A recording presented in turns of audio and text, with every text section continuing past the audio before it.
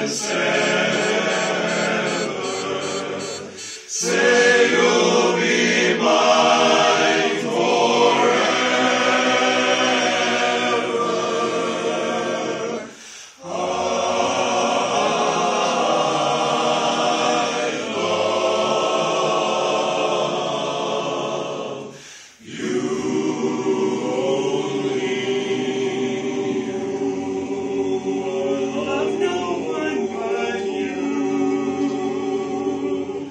John may be calling to you.